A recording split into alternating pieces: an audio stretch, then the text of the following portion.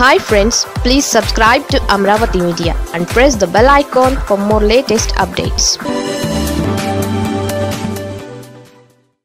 Viveka కేసులో supreme court కీలక నిర్ణయం.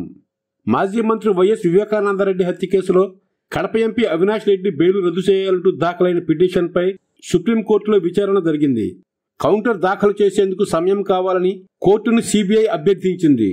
కౌంటర్ దాఖలు చేయడంతో పాటు latest charge sheet case original ఫైల్ను సీల్డ్ కవర్లో పెట్టి అందజేయాలని సుప్రీంకోర్టు ఆదేశించింది.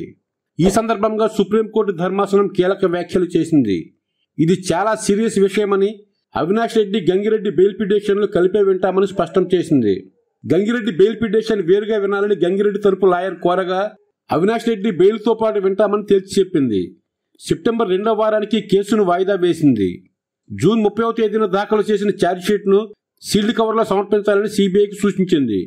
రెండు వారాల రిప్లై పిటిషన్ దాఖలు చేయాలని నోటీసులపైన రిజైండర్లు మూడు వారాల దాఖలు చేయాలని జూన్ ముప్పైన దాఖలు చేసిన ఛార్జ్షీట్ కాపీని తమ ముందు ఫైల్ చేయాలని ఆదేశించింది. ఈ కేసులో ఇతర ప్రతివాదులందరికీ నోటీసులు జారీ చేసింది. వివేక హత్య కేసులో కడప ఎంపీ అవినాష్ రెడ్డికి తెలంగాణ హైకోర్టు బెయిల్ మంజూరు చేయడంపై వివేక కుమార్తె సునీతారెడ్డి సుప్రీంకోర్టులో సవాల్ చేశారు.